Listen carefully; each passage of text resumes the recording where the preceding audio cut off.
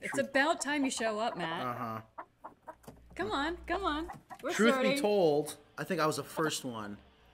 Oh, what at- time did you get to work today? Oh, I'm so very proud of that intro. How's it going, guys? Matt here with Carolina Coops. Welcome to Video Chicken, where we come to you live from Creedmoor, North Carolina, our brand new shop down here. Joining me to my left, my co-host Kristen. How are you doing today? I'm doing good. She was already trying to pick on me, thinking I was late. No, I just had to make a minor adjustment. And also, as always, we got Ingrid behind the screen operating everything. Uh, hope everyone's doing well. We'll give it a couple minutes to get everyone in here. Uh, I'm really excited about today. Uh, we have a guest speaker that we're going to talk about something that's a hot topic. And I'll be honest with you, for me, it, it gets a little confusing. It gets scary because, you know, I'm not an expert to, you know, talk about something that could be very, I mean, it could be deadly, right? Right. Well, that's why we have an expert. That's why we have experts. Yeah. And so we're going to bring her in um, in about 15 minutes. And we got Mackenzie also in the green room. We're going to go over how things are going on this week up in uh, New York. I'm hoping Mackenzie's going to be coming down here soon. I can't wait. It is Friday, so that means this coming Monday, I'm going to have some veterans coming down from New York. We're going to start building coops. So it's very, very exciting. Good. Um, so There'll be the smell of sawdust in here. yeah, and it is hot and sticky. We're really going to find out how these guys are doing.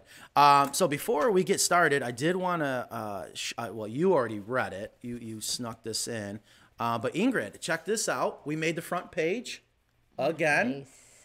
County Compass, a local newspaper. I got this in the mail yesterday, talking about our return to North Carolina, and uh, just a great article there. So we'll have to subscribe to this paper. I'm assuming they mail it out. Have you ever heard of the County Compass? No, no. Neither have I. Well, that's Granville County, right? Yes. You Wake County people think you're so special. I'm not special. Anyway, so and I hope that we get to talk a little. We get an update maybe from uh, last week's rant. Yes, I have an update. Dale, I don't know how much we can talk about. There's some interesting points. I'll I'll, I'll just leave it up to you if you're going to bring up some interesting details that you've learned. Oh, about. Oh, are we doing that? Well, no, but I just I, I Oh. just some very interesting details. What? Like Dale, I found out that Dale is going around calling me a low life to people in the neighborhood, and Mm-hmm. I've never met Dale, and I don't even know what a low life is. Like I think yeah, I'm not sure either. yeah. And then I there's don't know what that's referring to, especially from someone I've never even met. Right. So if you guys don't know what she's talking to. about, last week's show we had Kristen on, and I wanted her to kind of let loose a little rant what's going on I with did her rant. local HOA wants her to get rid of her chickens, and she's not allowed to fight for herself until her house is in full full, full foreclosure. That's the first time she gets to defend herself. And you found out another detail about the other person that's willing to pay personal money to get rid Oh of your yeah, chickens. Dale's putting up his own money. Mm-hmm. Um, I found out that he was trying to solicit complaints from my neighbors, Uh-huh. and they said no, we like the chickens. Oh, that's good to know. Yeah, Andy said we like. We asked her to let them loose in our backyard to eat ticks. So You're leaving out the one detail. I guess you well, don't. I, I don't know. I mean, there's been Yes. so much going on. There, there's a there's a fascinating detail about one Well- of the other gentlemen, if you, if that's what you want to call him. That, Oh yeah, I talked to the chief complaint person. And what's it? Well, we probably can't say his name His because name's of the detail. Paul. Okay, what about Paul? He works for the FBI. Isn't that interesting? we even got Ingrid to do a little.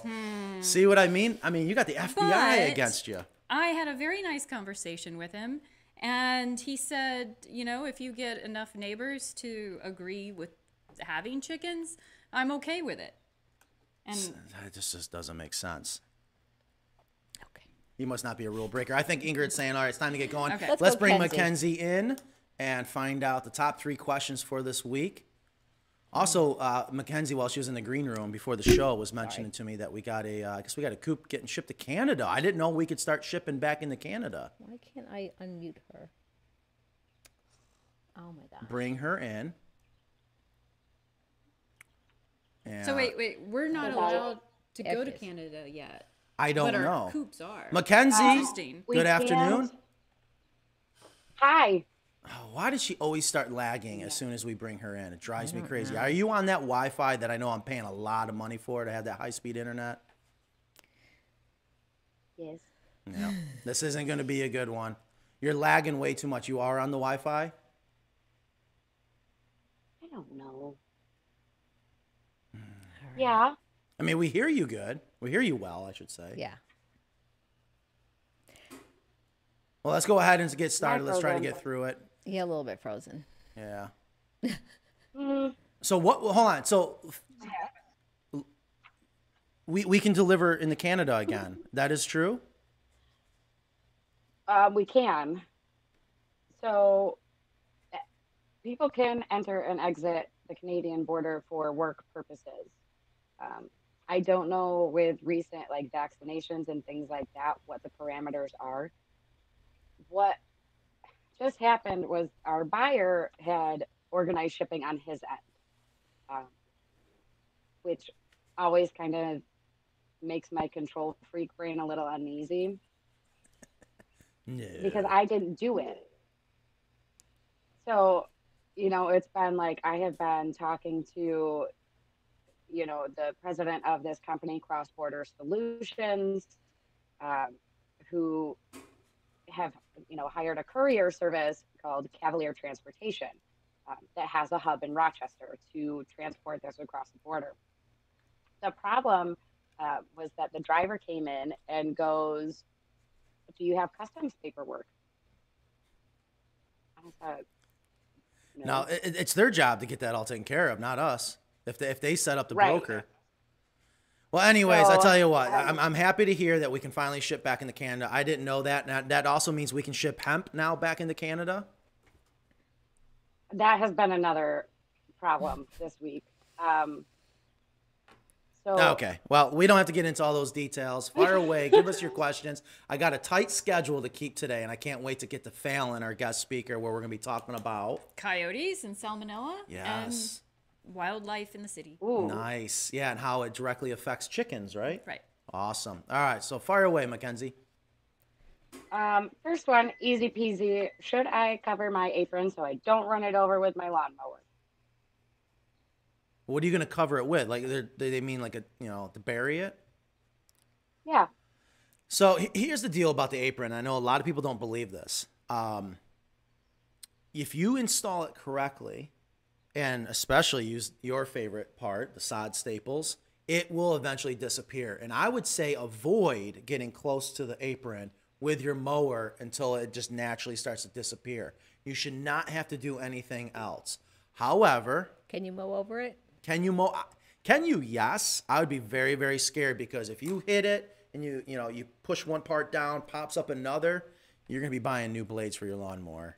So I would avoid it until gravity does its job. It takes anywhere from, I've seen it disappear within a month to maybe three months. And if the grass is growing really tall around your chick coop, I would weed whack it. I would not go over it with Or your you mower. raise your blades. Yeah, that's true. You could raise I your love blades. running over things with my lawnmower. It's great. I do it all the time. Um, do the chickens need feed and water in the coop at night? Absolutely not. And this They're- was yeah, they're sleeping at night, so they don't need to eat and drink at night. Period. It's just that And- simple. And I would I would not put food and water in there except for in rare circumstances. That should be in the run where they Right, I spend their time during the day. I think it, it doesn't. It probably leads in with the whole predator thing that you guys are going to talk Yeah. about also. Um, and then this one, Ingrid, I already kind of told you you're probably going to be up with this one. um, where can I find replacement parts for our heated water system, um, especially on the mobile? Do it, Ingrid. Do Ingrid, it. Ingrid, Ingrid, Ingrid, Okay. do it. Wake Show up, us. wake up. Oh my god. Share screen. I I mean, work, I Website. work so hard. I tried to give you fair warning. I know you did, but I didn't Um, know so we're gonna I- have Ingrid bring up the website and uh, left, left, left, left, left, left. Boom, boom. Click right there. Let's go ahead. We'll, sh- and then uh, I'll- well, she's- actually, I'll I'll share it now so people can see how I got to it. yes, minimize, What is this? minimize, just minimize. Perfect. Share screen. Yes, I got you, Betty. All right. I love this screen. Isn't that a great screen? So Mackenzie is still with us, and um, so how do you buy replacement parts? Shop. Go to carolinacoops.com. Up on the top left there, you Oh see yeah, I have to do. I have to do it here. Sorry, I keep doing that. Then you go to accessories, poultry waterers, products we love and replacement parts. Oh, that's a new one. Yeah, I didn't added see it. that. I, I, I got some fun stuff in here. So these are all our Amazon affiliate links, but we have the um, the incubator that Kristen loved, so people whoa, can find whoa, that. Whoa. I haven't seen this. The Brinsea heat lamp. Wow, Ingrid is oh, busy. Oh, I so when use she Better Ice and Spray. Yeah. I love that stuff. So down here we have our replacement parts. Right. The pump, the plug, the heat it, the heater. Yeah, you can't get that heater now. Well, you can get it, but it's ridiculously expensive. So we got to wait on those. That Are they not back in We're stock? Looking- I don't think they're in stock Um, yet until How many, September. how many watts is that? stock. Is that a thousand watts? That's a thousand watt heater. Mm-hmm. Yeah, it could be argued that you only need the 500 watts. No. south. Say it's Oh dear, What? don't don't only no have we a 500 watt. I know, but here's what happens. It gets screwed up. Next thing you know, someone's system freezes. And they, it's because they got accidentally sent the 500. They didn't check for the 1,000. You get into geographical zones. Where's the cutoff? You, you are correct. You I are think- correct. Well, thank you. But don't do it. It's only a couple bucks more. Didn't Get- they? Yeah, but if they, if it's out of stock, poor, poor Mackenzie's trying to say something. It's fine. Whatever. Well, hold on. Can Um, we go and back to that website real quick? I'm sorry. I this is all new to me. Go back to Shoot.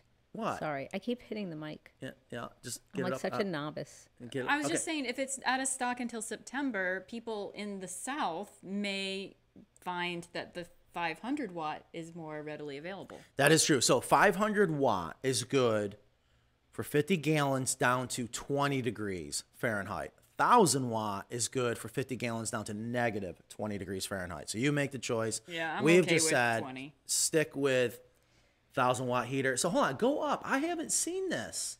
Well, you never see our website. Well, cuz I'm just putting up products that we mention that we use. Okay, so what's in that bucket? What in here? Yes, right there. That is, um, it's a it's a granular rooster booster. And it has vitamins and electrolytes, and you can add it to your roosters, uh, to your chickens' water and stuff like that. and so you gave this the official okay. You must be I use it. you use it. Okay, good. I Awesome. we only put things on here that I or or our staff has personal Awesome. experience with. Now, real quick, I know we're running out of time. Mm-hmm. Um, the Coop Works is that been is that on our website yet? It is. That's actually on as um, a regular product. These are affiliate links, and even though CoopWorks is technically An affiliate. an affiliate, yeah. um, it's still there. So we go down to accessories. Coop accessories. Got a rope wrap roost bars. That machine's coming down soon. We're gonna start making our rope wrap roost bars down here in North Carolina. I cannot wait. So there she is. So, and this will take you to their site, but Right. Can But- I can I say one thing about that? Um, Of course. I love that product, but the only issue I'm having with it is it is a. Excuse me. Hold on. I hear a forklift. I hear a forklift. I hear people not listening to my rules. all right, I'll be right back. Um, but Oh, the, what I what I don't like hell. about it is it's a lot of work to go out there every night and put the covers on, and then take them off in the morning. The purpose of it being a free range feeder is the convenience of having it left out in the rain. You know, when your chickens are out, they can easily feed in it, but um, that inconveniences. I, I think maybe Sorry, Oh, okay. We. Well, I don't know what happened. We got. sorry, I had to I had to make them stop. No, Okay. I know, but you got what? You didn't hear what was going on. There was major static I heard it. okay. Oh, I have the chills. I don't like that. Sorry. Yeah, sorry, folks. Sorry about Okay. that. We had to. So did you go get kick some ass, Ingrid? Oh no, I was trying to be nice. I want the guys no. to like me. They like you. If I like you, they like you. They know the rules around here. Okay, so anyways, so that that is a very good point, and we did want to talk more about that. Uh, your reviews, your experience with it, and I think Tom would love to hear some feedback. Yeah, I think if they were like flip up and hook or something would be even easier because I don't know where to put them. I think a raccoon carried off with one of them. They Oh, don't really? really? snap in there that well. Rocky the raccoon's like, uh, uh Yeah. Sorry, I'm gonna go hide Yeah. this. This morning there was one on the ground, so it's the Hmm. the nighttime. Um, So that just goes to prove if we put is- that inside the run, that's gonna It would be solve fine that. in the run. But it be fine in the run. designed to for free range Yeah. chickens. But if they're in the run, they're not free ranging. And Okay. th- it is saving feed too, though. Oh, aw- well, yeah, less especially with the feed. pull out. Yeah, and they can't get on top of it. there's a lot of great things about it. All right, let's finish up with Mackenzie. What else you got Okay. for us, Mackenzie? Um, the other kind of part of that question was on the mobile site. Um, people, it's hard to find the little like button in a button thing. Um, and we have a whole other slide out menu that you can scroll through and find those parts as well. I know like nine times out of ten, I'm more likely to be using my phone for something um, than to go through like such a hassle to log onto my computer. Oh, so you're saying there's some issues on the mobile site that Um, not necessarily like an issue, just it's not like I don't know, I think that's there, but we also know that it's there. Hmm. Yeah, and there's So- so much on our website now, which I think most people actually really appreciate. But Yeah, there's a lot of content, and it's hard to put simple Yeah. navigation, especially for mobile, on that type of stuff. But when, got when in doubt, guys, you can always give us a call. Yeah, and when you can. doubt. Yeah, you might have to do multiple clicks to get somewhere where you want to go. Right. absolutely. That's just because the amount of information. That's right. Awesome. Uh, Mac- Okay. Mackenzie, was there anything else? We're coming up to 1216. We're running a little bit behind. We can't wait to get talking to Falyn. Awesome. Well, Nope. Mackenzie, hope you start you. packing your bags. It's coming very, very soon. Get ready. Everyone's excited to see you down here. Your office is ready to go. I'm excited. Awesome. Awesome. Thank you, Mackenzie. You have a great weekend. Thanks, you guys too. Good to see ya. Okay. Later. Bye. Alrighty, it is 1216. If you are just joining us, we are live right now from Creedmoor, North Carolina, our new shop down here. And we have a guest speaker today. Yes. Would you like to do the introduction? Yes, uh, I and and let me give you a little background. Um, I had uh, HOA issue, and this one guy s- sent out a letter to everybody saying that they should be afraid because I have chickens, and they they need to fear coyotes and salmonella in their own yards because of me and the three other chicken people. So I reached out to the North Carolina Wildlife Resources Commission and they put me in touch with Falyn. And we had a great conversation. Just it was just a, a few minutes, but I learned so much and I wanted to bring her on today because I knew that she has information that I think our listeners would like as well. So absolutely. So I, and I want to. is. I It's want nice to to. see you. I want to mention a point. One of the biggest reasons why I do this show is is to educate people. I'm glad you used the applause. I was hoping you were going Mm-hmm. to. Um, I want to make sure that if people are on the fence, thinking about getting chickens, which we obviously are huge advocates of, we believe in it, that you're being fed good, honest information. Right. And I know a lot of times you guys accuse me of wearing a tinfoil hat, but I question a lot of things. Like the Mm-hmm. CDC just came out recently saying there's this major outbreaks across the country because of backyard chickens. They called out backyard chickens Yeah. and specifically. here in Wake County, the same thing happened where um, backyard chickens were blamed for the salmonella outbreak in uh, songbirds, bird feeders, backyard bird feeders. So she had some information, in, interesting things to say about that. So I mean, it's just I learned so much, and I want to get yeah. started. Yeah, absolutely. So, So- Falyn, thank you so much for joining us. Happy to be here. So what's um, Falyn is a Yeah, what, what your introduce yourself? What is your name and your title, and what do you do for the Wildlife Resources Commission in North Carolina? Sure, sure. Uh, my name is Falyn Owens. Um, I am the Extension Wildlife Biologist for the Wildlife Resources Commission. and my specialty is human wildlife interactions, um, specifically the unexpected sort of uh, experiences and encounters that people have with wildlife. Oh, that's perfect. Perfect. perfect uh, expertise for the show. How long how long have you been doing this? Uh, I've I've been doing wildlife biology biology research and outreach for over a decade, but I've been with the commission for about four years. Gotcha. Oh wow. Okay. Um, now, is there any particular area of North Carolina? Do you cover a certain area, maybe, or the whole entire state? Uh, yeah, I, I live in Raleigh, but my um, sort of my my space is the entire state. Wow. Awesome. All right. Well, please tell me, you know, I know a lot this started with your particular situation, and I really would love, you know, we can definitely want to hit on coyotes, but the salmonella part, I think it, it's very scary and it's, it is very real.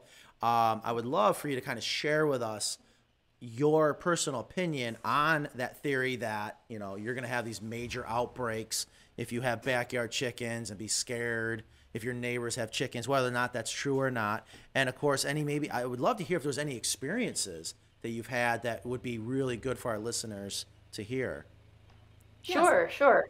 And and I want to preface everything that I say with that I am a wildlife expert. I'm not necessarily a chicken or a livestock expert. Um, but because the two interact, uh, I, I know probably just enough to get myself into trouble. Um, Perfect. You're in the right place. we like to start well a little that- trouble yeah sometimes. you're, you're in trouble already yeah, yeah. phones are Perfect. ringing Yeah. Um, so so when it comes to chickens and wildlife and salmonella, um, it's it really is a situation of muddy waters because we do definitely know that uh, chickens can carry salmonella even from the egg. Um, the the hens can can uh, um, deposit salmonella into the eggs, and then a chicken can be born from the egg with salmonella from birth. Um, so that's it's something that's kind of we call endemic in in some chickens. Um, so even if you have a completely sterile um, area where you keep your chickens, you could end up having chickens that have salmonella bacteria in them and on them, and that's pretty normal just for keeping chickens. But that's not something that you should be like, no, I can't do this. This is too dangerous because when it comes to salmonella, really, you just don't want to ingest it. So that's why you always cook your eggs and you cook your chicken before you eat them because there's always that possibility that salmonella bacteria will be on the meat. Um, don't touch chickens and then stick your fingers in your mouth without washing your hands first. It's just basic sort of hygiene when it comes to chickens. I, I like to call it i'm sorry to interrupt but i want we need to Yeah. hit on that point right there Because It- of the the news report that you shouldn't kiss your chickens. well it's called common sense Oh, it's called common sense or period. no no open mouth kissing. wash your hands. you go out and pet your dog. You go maybe pick up its feces. Are you gonna go eat or are you gonna wash your hands? It's the same thing with chickens. Yes. There is no increase, there, unless I'm wrong. There's just it just think about it, people. It, there's no increase with a backyard flock to risk. There's an increase. There's no increase in the risk from salmonella I've never had it. Versus never had and think about it. Here i want to i want to show the contrast because i'm not going to beat up commercial farming. It serves its purpose. It allows our food to be very convenient affordable but there comes consequences. Where here we're actually promoting people to get involved with something that's going to allow them to be even healthier. And now we got the cdc saying oh no this is going to make it worse. And it's not true because of just if you just use common sense sorry. And not all in chickens have, biz- have it, right? in, in the biz we call it biosecurity. That Mhm. common sense is is called biosecurity which basically means keep your chickens away from anything that can get them sick which means keeping them away from wild animals where there could you know they could get salmonella from from wildlife potentially. And also you know keep your mouths away from from chickens and uh, raw you know chicken poop and things like that. So you know it's it's it's really just good hygiene um, Right. that biosecurity anybody who who owns a commercial chicken farm really really really knows biosecurity but for a backyard chicken situation you know you might not be introduced to that idea but it, it really does boil down to just really good hygiene and keeping your chickens away from things that could be carrying diseases like wildlife Yeah. And Right. I, uh, when we spoke the other day, she said that my neighbors, for them to be at risk, my chickens would have to have salmonella, and not all chickens have salmonella, and they would have to come into my yard and eat the poop or get exposed to the poop. So, they, and there's a good chance they could come in my yard, eat the chicken poop, and not get sick because salmonella is not always there, and my mm-hmm. chickens may not have it. And so the risk of other people is very, very small unless they are pretty crazy. Well right and that's where i want to i want to also be clear So I, i'm I not think that's a low risk. But we've got Dale. it's a oh, low I don't know. risk. You know, again, I, I was an exterminator. I had to. I was trained on biosecurity when we did food processing plants, from meat plants, poultry, all that. And it, it's very. interesting and it makes sense when you go in there. But one of the reasons why I've always knew we had to have high biosecurity, you had to sanitize. Some places, especially pharmaceutical, you couldn't go into the place until you took a shower, and when you left, you had to take a shower. Um, is because the concentrations are so high. All right. Versus, you know, remember when we talked to Mr. Choffin, my beloved earth science teacher, what, God, over a month ago? I'll never forget when he said, the solution to pollution is dilution. Well, in a way, you're just inc- you're decreasing the overall risk. You don't have a concentration. Now, if you had, and we preach this all the time, it's all about having the right number of chickens per coop because you don't want to overload it. If you have your 100 dogs defecating every day in a eighth of an acre, you're going to have a high potential. You know what I mean? That's what this really comes down to. Yeah. You know, and to, to tell children, I'm sorry, you know, the CDC to say, don't hug your chickens. I mean, my prince, my Jetta was just walking around. We did an interview last week, and um, part of the interview process, we have the pictures. I don't know if I shared it with you, Ingrid, or not. Um, I told Ingrid, I said, or I told uh, Jetta, I said, go bring them some baby chicks, and it was a great way to test their if they really do love chickens or not. But it's just again common sense. After touching them, wash your hands. Yes. Yes. And then uh, what what about that link between um, the backyard songbirds and chickens? Do you can you tell us about that outbreak and where you think that might have come from? Yeah, yeah. So we had this uh, over the the early spring. We had this huge outbreak of salmonellosis, which is the disease that salmonella bacteria causes, or salmonella poisoning, basically. Um, in songbirds across the eastern seaboard, um, usually it was pine siskins and American goldfinches, with our, which are both species that love to visit bird feeders. Um, where the outbreak originally started, we really can't say. So, did it come from uh, some backyard chickens? Maybe, we don't know. But the outbreak itself, being spread from bird to bird to bird to bird, was most likely spread through bird feeders because it's a concentrated area where lots of birds are coming to eat in the same place. They're pooping on the feeder, they're getting their saliva on the, the seed, and they're sharing their germs. So the, the extent of the outbreak we know is more related to uh, bird feeders, especially unclean bird feeders that weren't being regularly sanitized, um, more than anything else. So original cause, we can't say, but it definitely was as bad as it was, mostly because of unclean bird feeders. And what do you suggest if you don't clean your bird feeders that often? Is there some other way that you could feed birds? Absolutely. Um, as a wildlife biologist who knows very, very well the disease risks to songbirds that come from bird feeders, as well as the nuisance wildlife issues that come from bird feeders, because birdseed is delicious and nutritious, not just for songbirds, but for all sorts of wildlife that people don't necessarily want to attract in their yard, like foxes, coyotes, rats, mice, squirrels, raccoons, opossums, bears. Um, so, because of the issues that, that bird feeders can cause, what I advocate is to actually plant native plants um, to use in your landscaping and gardens because those provide bird seed naturally and they don't come with any of those issues that bird feeders can cause. And I might also add, when you do that, you get more plants. so I, That's a I bonus. I have, I have my whole garden full of purple cone flowers, echinacea, and they were all came from the fact that I leave the the dead flowers on there for the finches to eat the seeds, and they either plant them, drop them, poop them, or whatever. And now I have tons of plants. Do you So- have any recommendations for specific plants for feeding songbirds?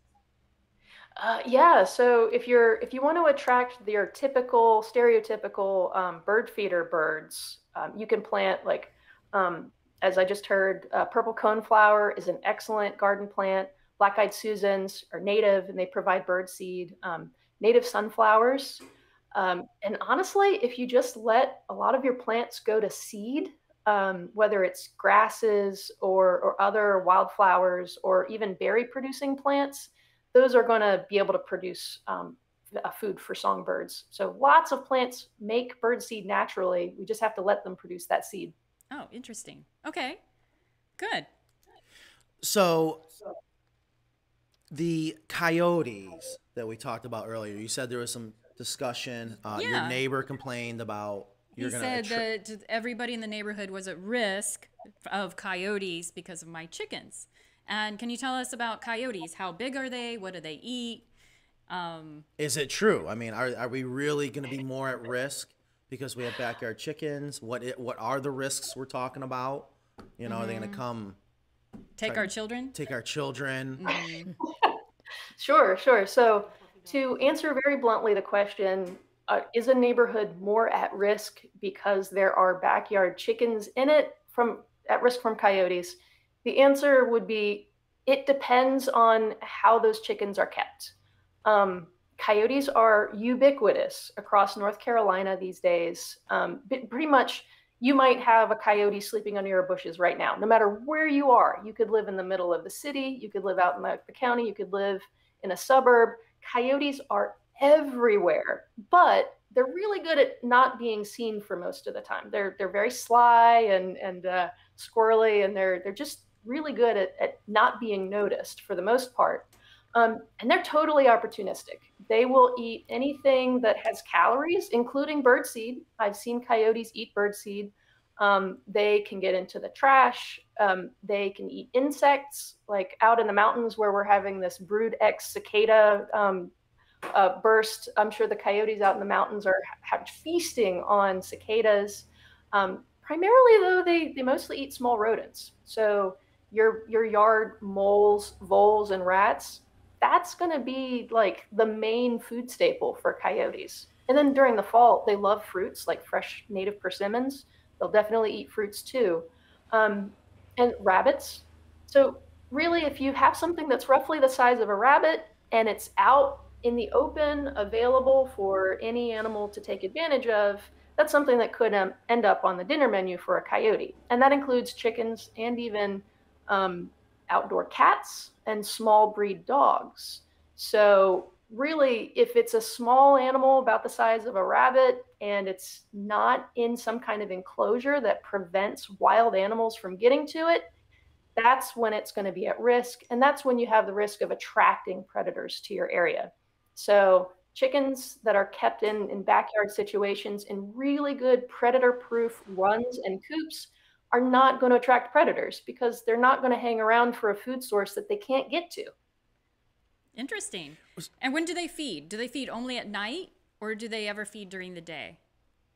Uh, coyotes are mostly active when people aren't. Like I said, they prefer not to be noticed by us. So, in a city, in a suburban situation, they're mostly going to be active at night, but they're definitely capable of foraging during the daytime. We are getting a lot of reports in California of seeing coyotes during the daytime. I I think those coyotes are those coyotes different than the ones we have on the East Coast. I mean, just size wise, or Yeah, that's a really good question. Um, our coyotes here in North Carolina are a little bit bigger than the coyotes are out west, but even then, they they tend to be more skin and bone than than like big beefy animals. So you can look at a coyote and it might look like the same size as a Labrador Retriever, but if you actually put it on a scale, it would weigh about half as much. They kind of max out at about 40 pounds here in North Carolina. Yeah, they were. Uh, we've had some customers, and I think a lot of it just has to do with the development. You know, we're going into their world, if you will, and that's just another point that, you know, having chickens. Again, they're trying to say, "Oh, you're going to draw in coyotes," where I think there is much more to the bigger picture Right. of why we potentially have problems with coyotes. And and I love the uh, point about yes, we are huge advocates of free ranging, and I always try to tell our customers to remember most of your high pressure predators, you know, the ones that can really cause some problems, your coyotes, your foxes, your raccoons, are nocturnal. It's one of the reasons why it's so important when you build a chicken coop, make sure they're in there and they're safe. And it's not just so they don't go in there, but the key word I want to make sure everyone understands, and I remember this from back in my nuisance wildlife days, is opportunistic. And I'm not going to mm-hmm. say they're lazy. I mean, they're out there working hard, but they're going to move on. Even with bears, you know, they're if you give them a reason to be there, they're going to take it. Mm-hmm. But if they're like, not getting in here, oh, there's another Carolina coop, I'm going to keep on going. You know, I've seen that. It is very, very true. So it's just so important to make sure your coop is built correctly to prevent things like that. Yeah. So I found it very interesting that outdoor cats were more of an attractant to coyotes in my neighborhood than chickens, well secured chickens. Oh, you must have a ton of coyotes. I do have a few cats. Um, Few. and well, I have four. Okay, let's let's not exaggerate. I mean, people are probably thinking she's got a dozen gosh, she's a, cats. well, there was a cat one day in one show that just came up across, but we, Yeah. because they're all orange, we can't really tell how many you really have. Yeah. it's brilliant. But anyways, um, real quick, I uh, I see Ingrid's brought up the comments off to the right, and, and I would love to hear if our listeners right now have any questions for Falyn. Is that okay? Sure. Falyn, I'm not sure how much time we have, and I want to apologize. My guys were not supposed to be making a damn bit of noise out there. I hope no one's hearing them. I don't know what's going on. I am not happy right now. Well, I, but I have a question for oh, Falyn fire away. because people always think that oh, if you have, if I oh, if I see chipmunks, then I'm going to see snakes, and it's all like you know, if I have if I have chickens, they're going to I'll have more snakes because they'll try to get the eggs or this animal if i see a lot of this animal it's going to attract this animal um, oh if you have a, another one i had heard if you have a pond you'll have frogs and that'll attract snakes and it's nothing wrong with attracting snakes because a lot of snakes are good I'm gonna say ecology is good. I mean, Um, I you- know, but you- people freak out about this whole idea of of the food chain in nature. and we become delusional. We live in this fantasy world of everything looks so perfect, but you got to understand real life. You know, I just had to tell my guys here as we're picking up and cleaning, don't just because you see a snake, don't go killing it. You know, uh, Mm-hmm. you understand how beneficial certain species can be? So, um, I. Uh, but anyways, uh, so didn't mean to interrupt again. yeah. So there, what do you but- think about that? Uh, I, I would definitely agree that, you know, you're okay, wildlife is everywhere. Uh, just like case in point about coyotes, doesn't matter where you are in North Carolina, you have coyotes in your area. That's just a given, no matter where you are. Um, we also have 38 different species of snakes in North Carolina. This is a really snaky state. And most of those are great animals. They are amazing species. We've got plenty that don't even get over a foot or like over a foot long. They're just tiny and harmless. Um, but of course, for chickens, the biggest worry is going to be your egg eating snakes, like our, our rat snakes.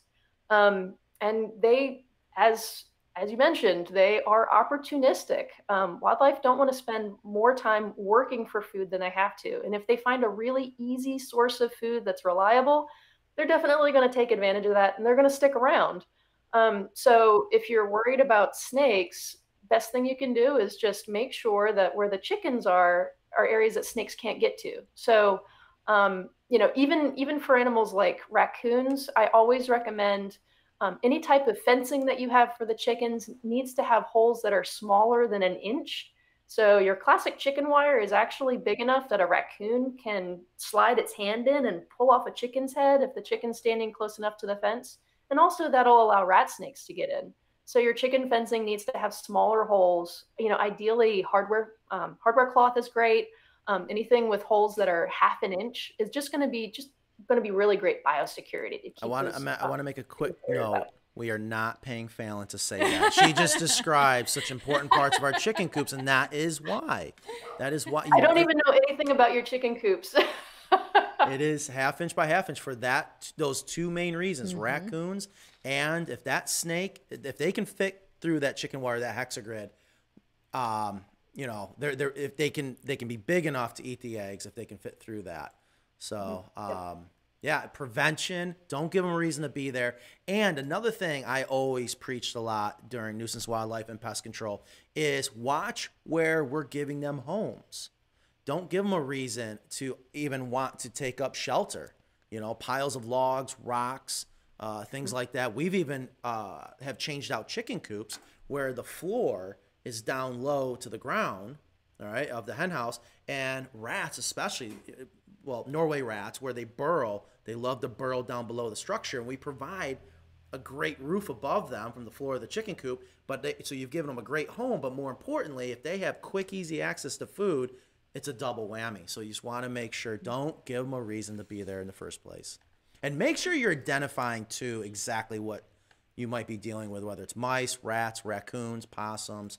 Educate and understand. It's not the end of the world. And again, I, I can't emphasize this enough. If you're on the fence thinking about getting the backyard chickens, this is why we do the show listen to what we're saying. Call us if you have questions, because I mean that's our number one job. Is we want you to get into the hobby, whether you're going to build your own chick coop or buy a chick coop from us. And this is why we love to bring in the experts like Falyn here.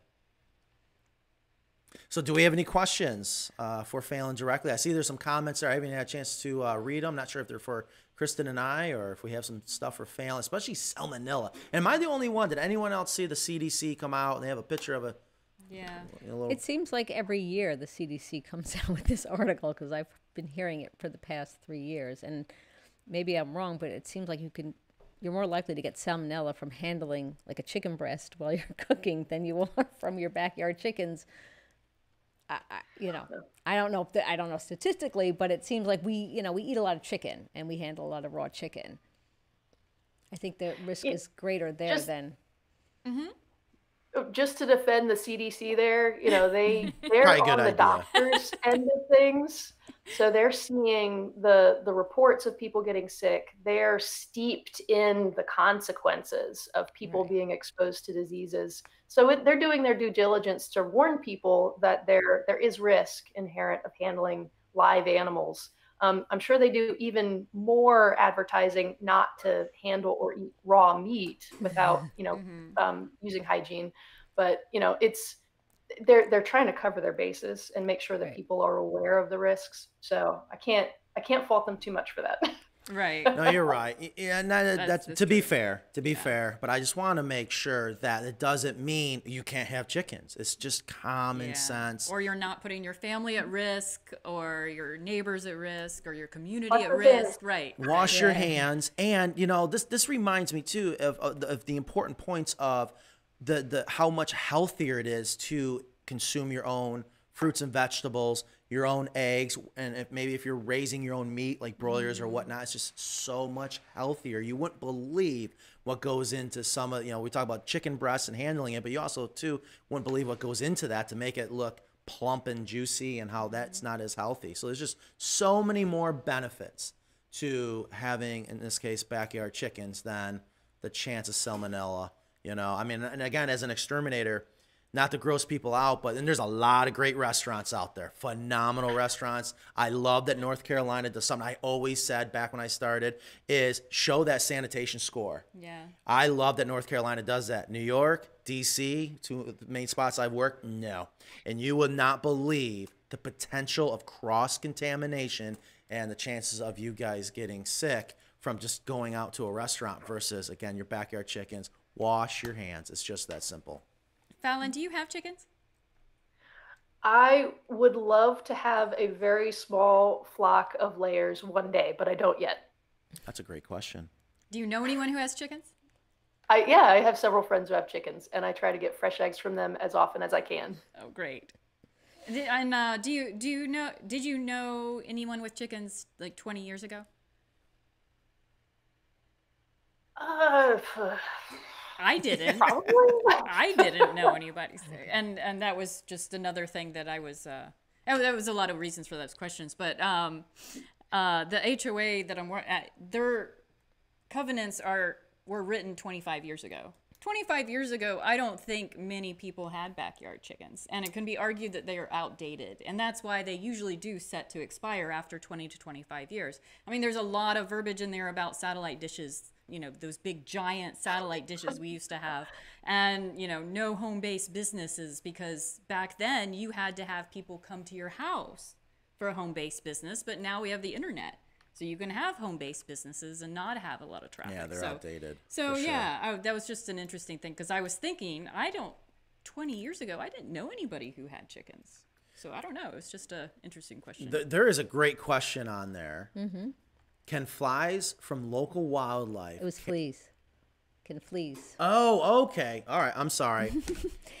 can fleas from local wildlife carry salmonella to chickens?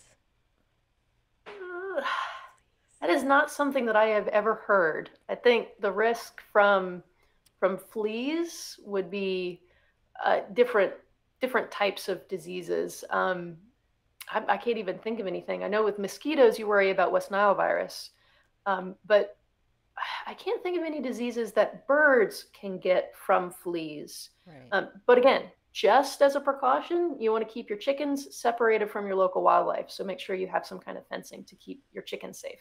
And the and And the that point. includes overhead protection. Hawks, owls, they yeah. love chickens too.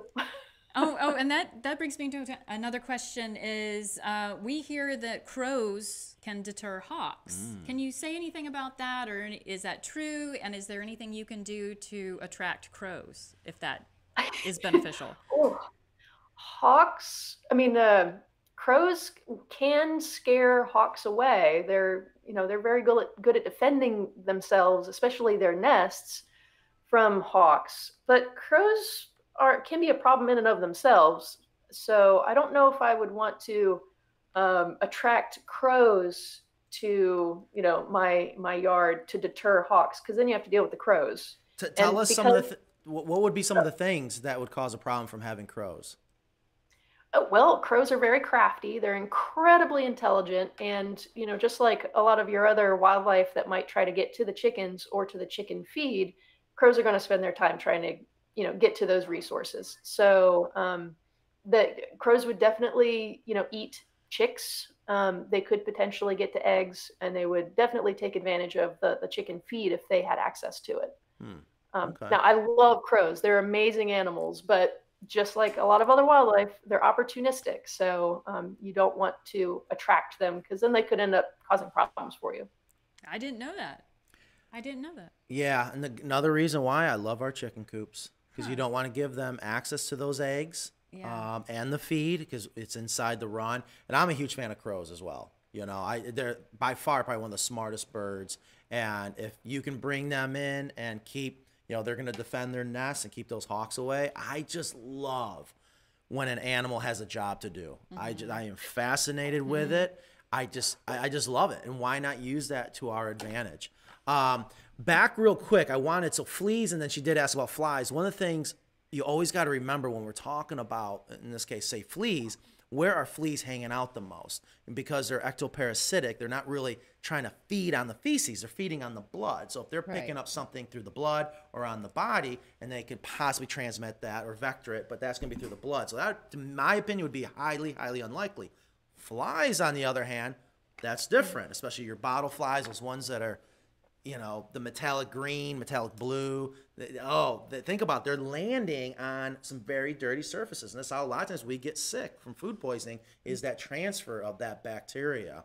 So there is a possibility, definitely with I would think with flies, just in general, I'm not, not sure how specific that would be with salmonella, but definitely it would be so unlikely with fleas.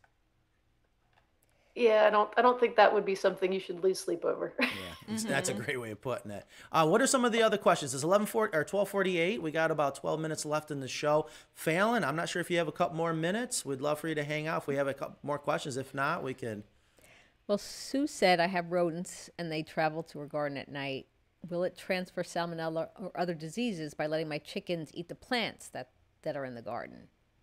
Or should she wash them? I mean, is there any risk of a chicken eating a garden plant that a rat might have, I don't know, visited in some way? Um, I mean, you know, salmonella is kind of ubiquitous in the environment. Um, you know, if you just took a random like handful of dirt on the ground and stuck it in your mouth, there would be a possibility of getting salmonella from it.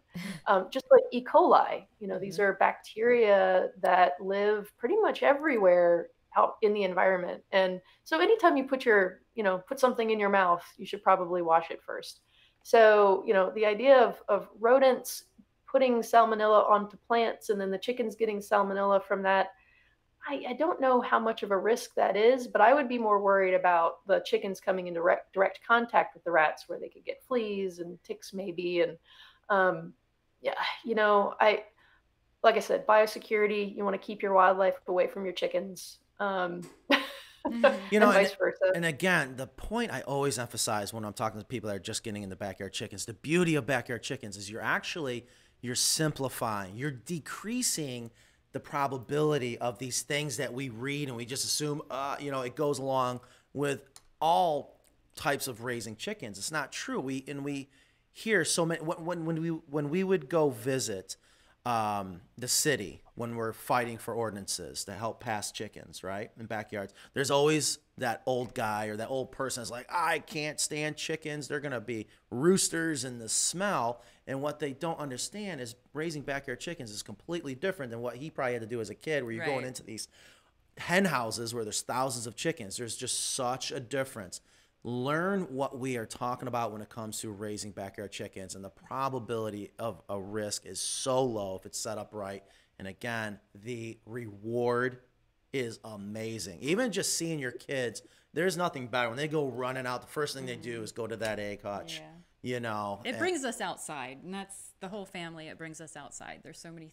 It really does. It. it I think it's beneficial. absolutely. Um, there was one other thing that I was going to ask, and that's it was my understanding that since birds are a different classification of animal than mammals, there's very few diseases that actually transfer. Is that correct? Like we are actually should be less worried that we have pet birds than pet mammals.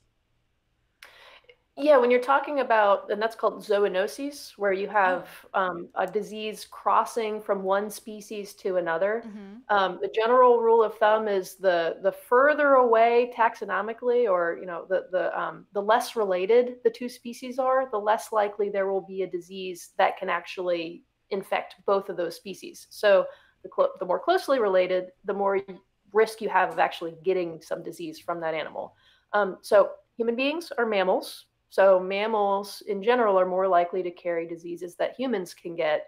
And birds, being much further away from us in the evolutionary scale, just don't carry very many diseases that we can get. And vice versa. You're not likely to give a disease to a chicken. Right. So the interaction between, you know, the the rat and the bird is probably less of a concern than a bird and a songbird, maybe, or or something like that. Yeah, and and I think in that, you know, salmonella is kind of a unique case because it's something that that hangs out on the surface of things. So, um, you know, a bird can have salmonella bacteria in its body and not be sick at all, not get a disease from that bacteria. But then if we come in contact with the salmonella bacteria, then we can get sick from it. So, um, so salmonella is one of those things that chickens and people can get, but usually chickens don't necessarily get sick from it, and we can. and we can but we don't some there there's I, we talked about it and you said maybe i have a tolerance to it or i i you know there you don't always get it or your body fights it off if you're if you're healthy so it's not like Yeah. a certain death situation where if you get it you're going to get really sick Right, right. And I think it was mentioned before, it's kind of all about concentration. You know, if you get exposed to one salmonella bacterium, you're probably not going to get sick from it. But if you suddenly are exposed to a lot of salmonella all at once, then you're you're likely to get sick from it. Uh, so I want to make sure before we finish that I see a long comment there, and I'm not sure Ingrid if if we can keep Falyn on, we'll still be able to hear her. But can we go to the comments page? I would love for since we're coming towards the end of the show for people to be able to see the comments. And uh, Falyn, you should also be able to read them. We can zoom it up, make it real big over here. Um, and I really love when people are making a point from their personal experience that we can uh, be, like uh, now now I'm going to be able to read the difference between flies and uh, thank you Richard for letting me know there's no noise. That just saved them. I was gonna oh I was so I was livid. Anyways um, so we go right down. There was Yeah, um, here. Lindsay you want to go ahead and read that? Can you just slide it over a little bit more because it's cut off on our end? There we go. Okay, Okay. perfect. Being in healthcare, it's also important to note that the, cha- the chain of infection. Just because a mouse or a rat touches something, and let's say they do deposit salmonella bacteria, it's important to note that bacteria have also have to be able to survive on that surface as well. They're typically fragile when exposed to temperature, dry environments, and aren't very conducive to bacteria thriving. So the conditions have to be right for bacteria to to take hold. Falyn, do you do you agree with that Absolutely. That is an excellent point. Thank you, Lindsay. yes that's that's what we're saying it, it's how you're set up and the thing again in, in factory farming I, i'm not trying to beat it up it has its point but the downside is it is highly concentrated the concentration is just so abundant that it creates an ideal situation for us to have major health potential risks versus again the solution to pollution is dilution You know, it's just you don't want to overdo it. So a few backyard chickens in a well secured area with the proper coop is it sounds like really no risk to others in the neighborhood, let's say 6 acres away, 400 yards away, 410 yards away, Dale. There's no there's no risk to Dale. He doesn't even drive by my No, house, they so he just can't even don't get it on you his for tires. So there's really no risk to other people if you have well secured chickens, right? Mm-hmm. Okay. I'd agree with that. And you're more at risk by having outdoor cats or a bird feeder or trash cans, um, something like that. Yeah, any any type of food source that's out and available for any wild animal to take advantage of is going to attract all sorts of wildlife. Oh, But if the food source food, is all contained Yeah. and you know there's good hygiene and and you know the it's a clean environment for the chickens and they're kept away from other wildlife, then I mean you would have to go into the coop and touch the chickens and like stick your hands in your mouth to have any kind of risk from them. I will be watching out for that. All righty, Falyn, we're gonna wrap it up here. Falyn, thank you so much. Yeah, Uh, this was amazing. Thank you so much. I learned so much, even more this w- time. We than I did love it. time. I hope um, uh, maybe sometime down the road we can have you back on, especially as people. This will go up into a podcast, and more people have more questions and comments. And I love just how simple you were able to put it, the experience you have, and I'm sure I speak for all our listeners and viewers. They greatly appreciate Yeah, it. Thank you so much. a lot of common Thanks sense. for having me. Yeah, yeah. Thank you. And uh, if when you want chickens, let us know. Yes. We'll hook you up. Yes. Awesome. Thank you, Falyn. Thank you, Falyn. Thank you. Have a great day. So that Take was care. Everyone. I hope you guys enjoyed that. That was Um, awesome. Yeah, that was cool. I love the experts. I love the experts, and especially when it's not just me saying it. Like, I, I couldn't believe she even got down in the detail with the Yeah, half inch hardware cloth. hardware cloth. Um, so I see there's a lot of questions and comments. I, I uh, we got three minutes left in the show, but I would love to see, you know, Ingrid, you're scrolling through them. I'm not sure if there's anything good. I don't want to miss out on some things that our listeners and viewers, especially if there's anyone, you know, we have some people that are repeat, which I love. Uh, if we got any new ones, They were saying that Falyn looks like Jodie Foster. Yeah, she does. Um, is that um, Silence of the Lambs? yes. Clarice. Um, here's Kyle. I, if I get three silky chickens and two leghorns to raise together, should I feed them all a high protein feed? This sounds like one of those math problems. Take three silkies and two leghorns. Well, the first problem is the three silkies. And Yeah. the two leghorns. I mean, I don't know. Um, That's an interesting mix right yeah, there. It really it is. He's probably getting leghorns for the because Eggs. they for the eggs. Um, Because the silkies, good luck. Yeah. So he, he went to two extremes there. He went to like, okay, I only care about eggs, so I want this chicken that might be not a great pet, to, okay, I want these pet chickens that are not going to really lay me eggs and are going to be maybe a little bit more difficult. But we'll go broody for you. They will go broody. so if I were him, I would. I would probably throw in something in the middle as well, or if Should you he get the feed them a high protein feed? Oh, sorry. I'm, I'm. I'm, I'm like second guessing his selection Yeah, we here. can't. So- oh, That's not the sorry, sorry. And if you get a leghorn, I like the brown ones better than the white ones. Um, the hi- hi- it depends on what you mean by high protein feed. And I how mean, old are, they are are. we talking Yeah. about the game bird feed that you use for quail? That's thirty percent.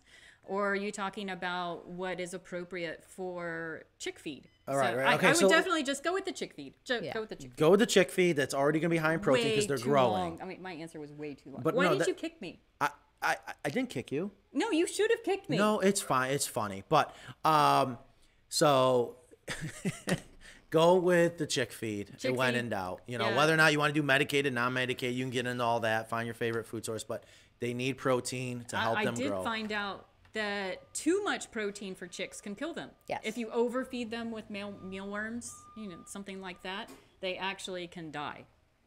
So Yeah, that- everything in moderation. Everything in moderation. Okay. So look at this one, the painted lady, 22, which leads me to the question: How many here wash their fresh eggs or leave the bloom on them? You should always leave the bloom on. Leave the bloom on. Don't wash your eggs. The eggs are perfect the way They already come out naturally. Yeah, even if they are dirty, I would just I would just wash them. Yeah, like Steve and Letty said, just just before eating. I mean, sometimes you don't want to display those if they're dirty. Maybe you don't want those on the counter for everyone to see, but And definitely if you wash them, which we don't want to, but if for some reason you want to wash them, stick them in the fridge because Yeah. they're going to get bacteria on them because the bloom has a purpose. Tell us, Matt. Well, okay. Well, the bloom is obviously there to protect the bacteria from ever getting in, anything that could harm the eggs. But here's the point I want to make. And listen, I love this country, I love America, but we are so dumb in so many cases. We make things so much more difficult for us where we insist when we go out and buy produce or in this case eggs that they got to be perfect they got to be bright white that not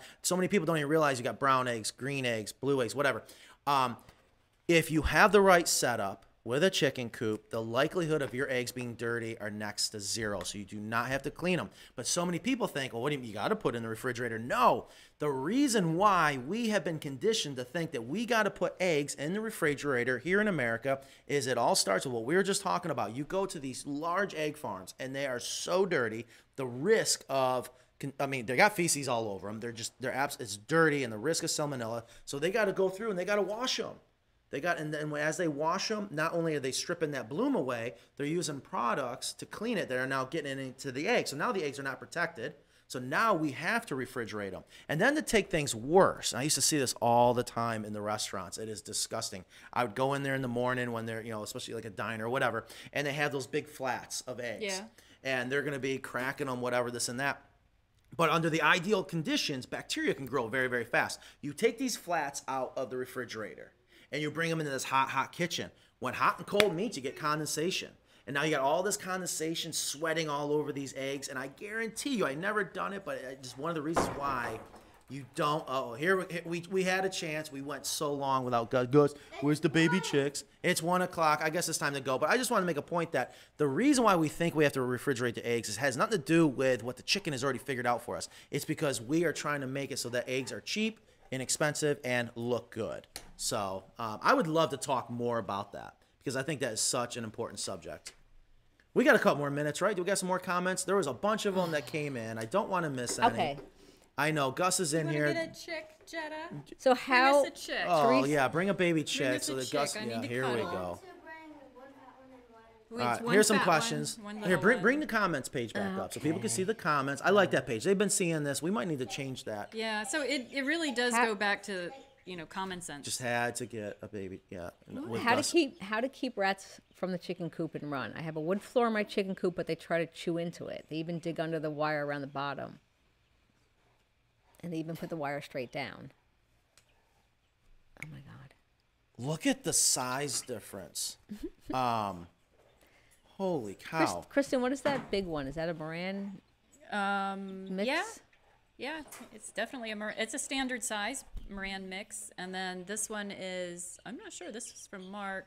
Uh, Little bantam. it's All a right. Well, real quick, real quick, while we're playing with baby probably an chicks, and, and English Gus is like, I, I want to see one. But this is the one that's Oh my goodness. to be Oh, normal here- size. here's the one that has a top hat. Well, Um, that's a bantam too. It's a So I would love to talk about that because we have videos showing why you you you have rats around your chicken coop. But again, just like we talked about earlier, if there is food readily available, they're going to hang out nearby, especially if you're giving them a good harborage area. Now, there is a difference between your your Norway rat, which is the most common rat you see in the United States, versus a roof rat. So I don't want to get into all those details, but I would love if we can maybe answer that in greater detail next time and maybe be able to bring up that video. But here's the thing pests in general, don't give them a reason to be there. And if they are, if you have high pressure, like immediately when they start saying they're chewing into an area, they've learned the foods there, and you also have a very high population.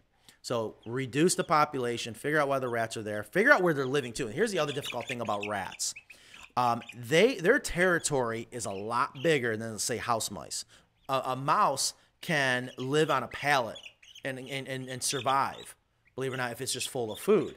Rats have a much larger territory, but they have to drink water. So keep that in mind every every day. They must have liquid water. Eliminate their water source, and you will decrease the overall population. Okay. Do we get any more questions? I would love to go back to that one. I want to do a whole. Would you like a little kiss? Uh, no. Crumbles or pellets? Pellets. I think crumbles are good for chicks, and then switch to pellets when they get older. Okay, why? Because crumbles are smaller and chicks are smaller. It's easier for them to eat. And then pellets, there is tends to be less waste Exactly. I couldn't agree more. for for hens. Yeah, yeah. Let's go. Let's rifle right through them. Let's see how fast we can. We got to practice answering questions. Um, Like a game show. I know, but Good to know about the potential. All right, I'll do it. Something else I learned today. Like 24, leave bloom washed on before eating. Yes, leave the bloom on. Leave the bloom on. We talked about that. Which wait, I'm going back up to ones we didn't okay, get. I just realized Falyn looks like Jodie Foster. I yeah, Clarice. Um, What's the- the best approach to hanging hardware cloth? Stapler or no stapler? Pneumatic stapler. Ooh, I'm about to teach the guys how to do that. I by far 18 gauge, quarter inch crown, one and a quarter inch leg, pneumatic stapler, stainless steel, and it's how you shoot it in and how you you want to cross the welds on the hardware cloth. Do you want to cross at the corner or at the Yeah, I I call it well the intersection, bottom the of the crosshairs, where they weld, okay where they where they, weld. cross? How often should I clean my bird feeder and clean the bird feeder with what? you should clean it with just like a disinfecting soap and like a soap and water. You should, like that was what was happening in the spring. People were like, there was a big thing about the salmonella, and people leave their bird feeders. Nobody thinks I to never clean them. heard that. yeah, it was thinks- on the. Yeah, Dale sent that the link to the local article. I didn't know that somebody was making the association of backyard chickens. Um, but she actually told me on the phone that it was more due to um, there was a bad seed crop um, elsewhere, and the migrating birds didn't migrate where they usually do. So it was more of a okay, well, they're not traveling, they're staying, and this is more of a situation with um, really just just the the growth of the of the food source more than it is certainly more than it is chickens and then backyard feeders. Just want to see if this little dude had something to say. Um, I don't see any ruse yet. I don't see any evidence No, of. I don't see it either. All right, so let, let's fire away. Let's fire away. Let's let's Well, see what we got. No, mean, no, no. It's through fine. It's fine. Just We scroll, scroll. those. No, uh, no, we haven't. So, uh, blah blah. And I just I want people, everyone, to be able to see it. I loved her point that to plant things, and Yeah. I know you did too, Ingrid, because if you didn't catch that live show we did at Ingrid's house, that was pretty good. I just read on my local South Carolina crazy chicken Facebook page that adding lots of black chickens to your flock would also deter hawks, assuming hawks will think they are crows. That's an interesting idea, but I would think that hawks are smarter than that. That is so But interesting. is. but I, I know that they're having white chickens; those are more of a risk because they're Right. so easy to see. oh, that's a good point. well, and I know. So in Central Park, there used to be a lot of black squirrels. You know, there oh would be- yeah. but then they weren't because they were easy prey because they stand out beside you know the the the gray squirrels are camouflaged Probably blend in better. right so the hawks were picking those out And So- that makes sense. I mean, they're they're gonna go for what's easier. Okay, okay. What else we got? Let's let's see if we can get through some of these. Crows and Jetta. magpies will eat the eyes and tongues from lambs, and they are being born. I have no idea what that's talking about. Crows are hmm. also rip up lawns looking for grubs. Yeah, that's true. I have lots of birds coming to my bird feeder. It's a new one and keeps squirrels from getting any seed. wait i want to just tell sue malloy that grubs turn into japanese beetles so you kind of want the crows to get the grubs or something to get them if you don't have chickens There's biggest risk. There's a bigger risk from wild bird poo. Right. Again, that's just what I want people to realize is we, we And, and why wouldn't we want to listen to CDC? Why wouldn't we want to listen to the people that we trust? But I'm telling you, always go to the people that do this every single day. Educate yourself and use common sense. Hi from California Bay Area. Coyotes are often seen in San Francisco neighborhoods. Oh, absolutely. There's coyotes everywhere. And I don't know if they're mountain lions. I don't know if they're. And I thought it was interesting that um, Jetta, yeah, Jetta, Jetta, you left us hanging. What's going on? What just happened? I, I don't know. are Uh, you- uh, Jetta. I don't want Gus to. Gus is seems fu- really Gus is- interested. he is being such a good boy. He's on so guard. kathy Oh, asked yes, how, um, how what- old are pullets when they start to lay eggs About five months, but it depends on what time of year they were born. and the breed and the breed. Um, the other wildlife biologist that I talked to said he had never seen a coyote bigger than 33 pounds in this area in North Carolina, which I, that was like, oh, I didn't realize that they were so small. right Um, and she said they could get up to 40 and they were usually skin and bones. yeah they are You you think that they're gonna be like a wolf. If you Yeah. don't ever see them, and yeah, they're I super lean. yeah yeah, but they're they're not like a wolf or you know they're they're pretty scrawny. As our Loud, loud at night. That's for sure. yes, We have so many coyotes at our farm in New York. Bears, same issue in UK with foxes. I'm having a rat problem, and they are digging under That it. was we the same woman. definitely, That was you the know, same we talked yesterday that we got to spend more time prepping these shows, and I has, it has been a dream of mine to really focus on pest-related issues, and I think uh, a lot of people I would love to even be able to bring them on, showing us the uh, situation that they might be having. So that's something for the future because it's not complicated what's going on. But, anyways, if chickens are subject to respiratory conditions, shouldn't diatomaceous earth be avoided? That's the whole thing about the dust bath, too. yeah. So, uh, uh, again, diatomaceous earth, it's ground up crustaceans. You breathe that in, it's not good. Okay, we use diatomaceous earth a lot with insects because they have that waxy cuticle and it acts as a desiccant. It cuts up that waxy cuticle, they dry out.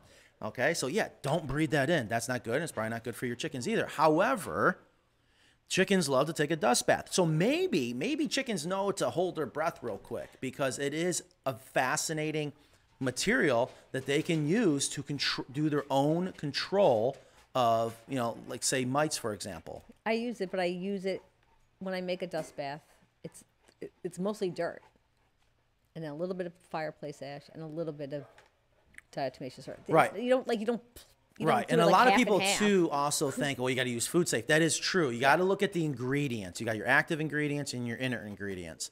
So look make sure you pay attention to what else is in there. There could be some other stuff that isn't exactly that harmful but be aware of it especially on the repellent side um, And be careful when you're using it that you don't breathe it in. you do not want to breathe in that stuff i it's not fun i can't imagine how much damage i've done over the years using it but hey matt love your carolina coops any chance you could reward your viewers and subscribers with a plan Yeah, Everybody wants They're- their plans. I know they are. I promise. I promise. Somebody I promise. from Honduras messaged me wanting plans. they they are coming.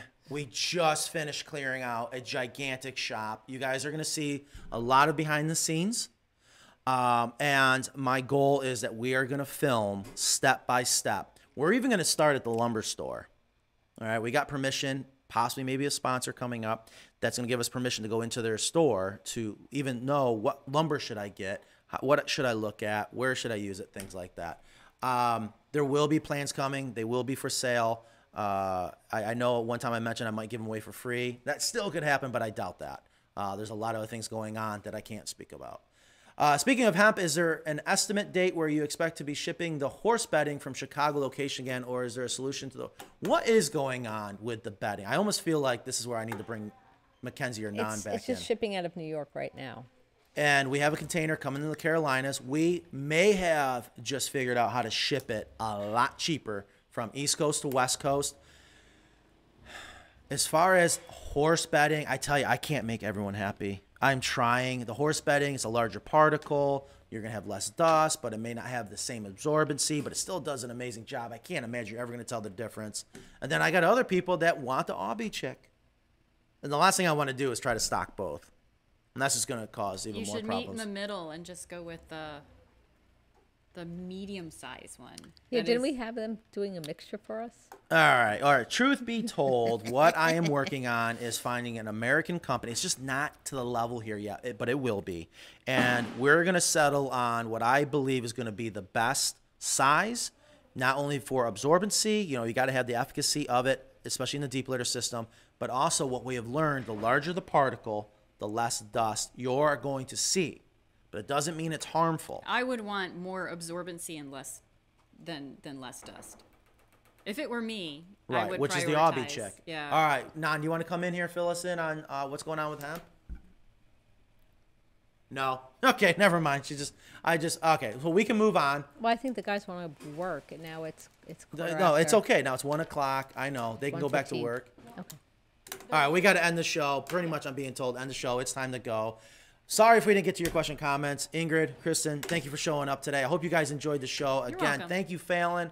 What a great interview. I absolutely love that. I hope you guys enjoyed it. If you have any questions, thoughts, comments for future shows, please leave the comments down below. Uh, and even if you are watching, you know, today is June. It is hot today. What is June? Uh, 11th. June 11th today. So if you're watching this show on June 12th or later in 2021, it is no longer live. But anyways, thanks guys. Thank Have- you. Have a wonderful weekend. Very proud of the outro as well. That was good. All right, yeah, I got people that want to work, people that want me. Good job, guys.